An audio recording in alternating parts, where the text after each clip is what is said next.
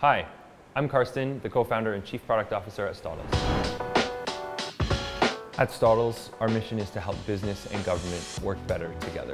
Our journey started as we were finishing our MBA program. Since then, we've finished our pre-seed round of funding, grown our team, and are now just closing down our seed round and ramping up for the next phase.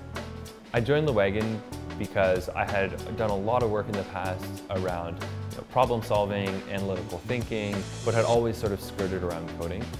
I saw Wagon as a really good opportunity to learn how to do that. The best part of the bootcamp for me was seeing the final project come together, to see it live and clickable, usable.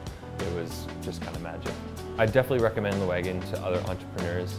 Super valuable in giving you the skills you need in order to build that first version of your product and keep building on top of that as well as you know, the network to find your team, reach out and get the help that you need as you're figuring everything out as you build.